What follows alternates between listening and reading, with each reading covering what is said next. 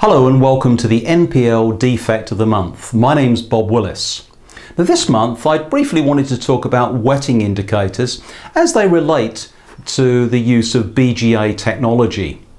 Now wetting indicators are simply a modification to selected pads on a BGA or CSP application. And what you're doing is modifying the pad subtly to allow the solder paste and the solder from the sphere on your package to wet out and change the, the shape slightly when viewed with X-ray inspection.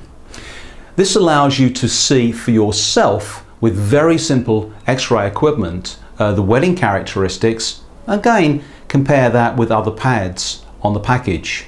Now I normally recommend that you place wetting indicators perhaps the one row in, in the four corners, and possibly four corners around the die area of the BGA package.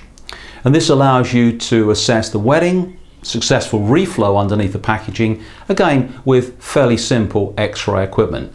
Never change every pad on the surface of the device, otherwise you're back to trying to decide whether any wetting has taken place. You're only doing it selectively. Wetting indicators cost you nothing and they can be of value, particularly during failure analysis.